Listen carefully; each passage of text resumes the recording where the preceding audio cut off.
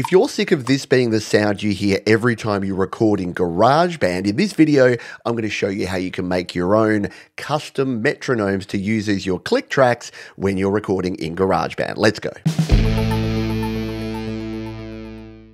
A metronome or click track is used to make sure that when you record, you're in time, you're on the grid. But I don't know about you, but that sound doesn't inspire me. Now, yes, you can come here into your settings and you can change up your metronome sounds here. You can click here and you can change it to a click or a woodblock or a hi hat or a rim shot or no sound, which I've never really understood. You can even change the level of the metronome. So if you want to have it louder or softer, you can do all of that. But how about instead of that, we actually just make our own metronome out of whatever sounds we want? Let's show you that now. Method number one, and probably the simplest way, is to add a drummer track. So all we need to do for this is to come down here, hit the plus button, scroll across until we get to the drummer. Now you can choose from acoustic, electronic, or percussion. We're going to go with a percussionist here because this is a laid back kind of mellow sound. You can see there, it'll immediately create an entire track here. We've got Isabella on percussion, and if we hit the play button now,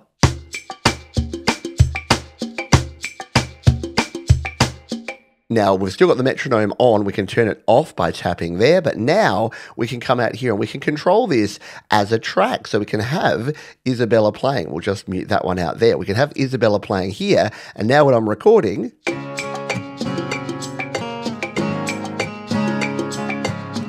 And you can tell there, because I recorded this to the metronome, it's actually not really on the grid. It's not in the pocket. So I'll need to re-record this with one of these methods that I show you. So once again, tap there and go to your drummer. Now, if you want more of an acoustic drummer, you can do that. You can choose your drummer from Kyle or Logan, Anders, all the people. Let's bring Darcy in here and we'll mute out our previous one and have Darcy in here. So you might want to record along to a bit more of an acoustic drum sound.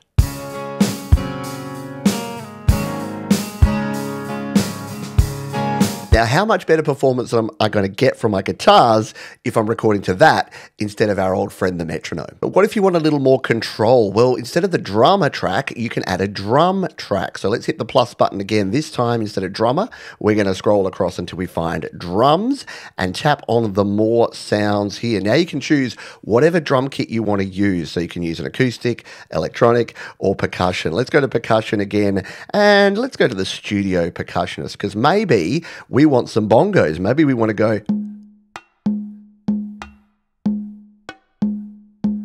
Well, guess what? We can record this in. So if we come in here, now this, you will need the metronome on to record this, but all we really need is a couple of bars of this. So let's turn on our metronome, let's hit record, and let's record in our own backing track.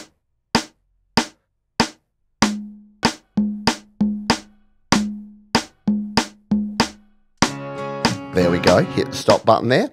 And you can hear we've changed that metronome sound. So the reason that it sounds different there is that when we were playing around before, we changed it to a rim shot. Let's put that back to a wood block, my favorite, if there is such a thing. So now that we've created this, we can come back out here to our track, and there it is. All we need to do now is loop this out. So if we've got this here, we can just make sure we drag it back so it's right on the two bars there, then tap it and loop it and it'll just keep going on throughout the entire track. Turn off the metronome now.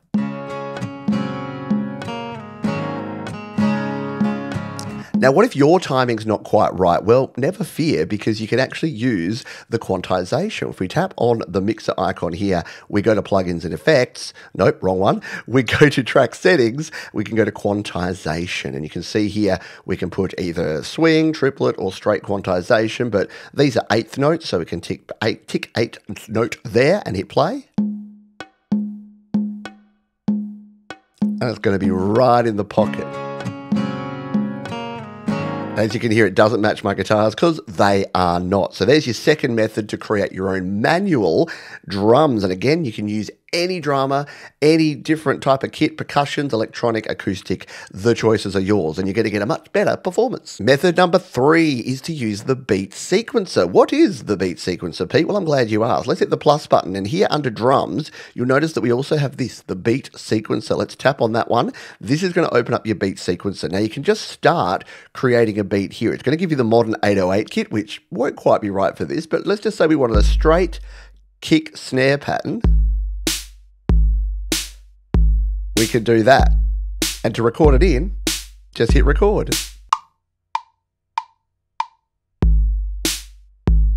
Give it a couple of bars. Stop it.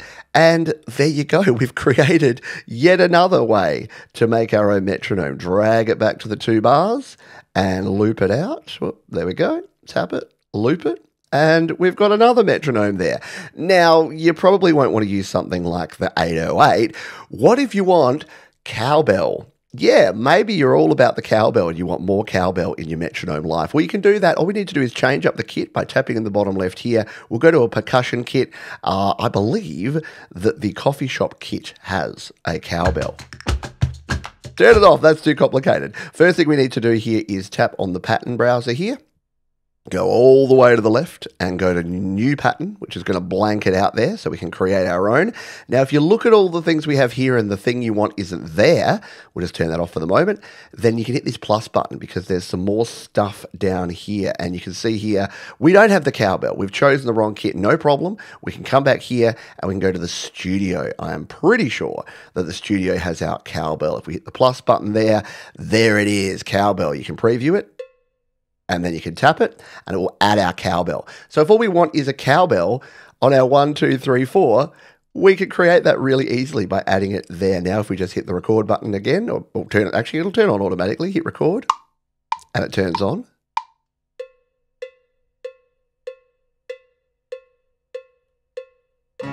There you go. We've created it again. And the reason you only need a couple of bars is we're not going to vary this up. So just drag that back to your two bars and loop it out. And then you've got complete control here because the cowbell might be a bit quiet for your track. So you just turn up the volume. And then when you're playing along and recording to your brand new metronome,